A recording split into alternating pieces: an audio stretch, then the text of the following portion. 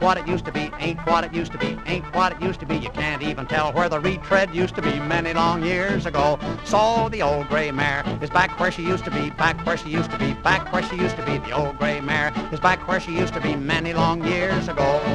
She may be old and lean, but she don't need gasoline. Oh, she flips her tail at a Ford and a Cadillac, kicks at a Pontiac, acts like a jumping jack. The old gray mare is back where she used to be many long years ago.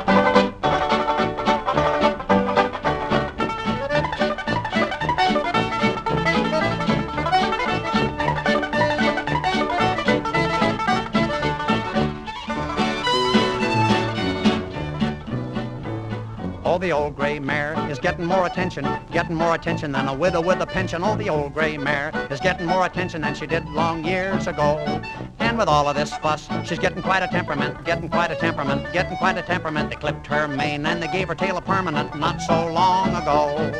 Pa, he hurries home and grabs a curry comb. And the young folks all rush out every morn and clean out the barn and fill her full of corn. Yes, the old gray mare is getting more attention than she did long years ago.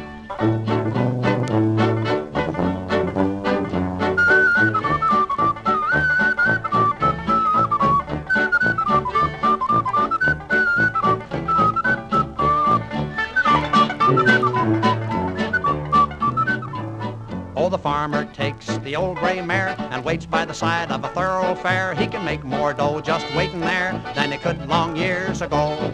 A great big car comes whizzing right past, whizzing right past, going mighty fast. A few miles farther, he runs out of gas and the old mare pulls him home.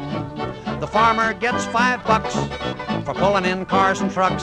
Oh, he's the old boy we all call a rube. We call him a hick and we call him a boob, but he ain't stuck with a flat inner tube. Him and his old gray mare.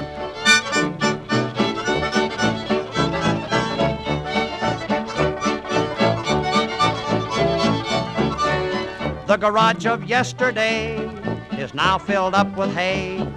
Instead of talking of tires and gas, we talk about corn and oats and grass. Yes, the old gray mare is back where she used to be many long years ago.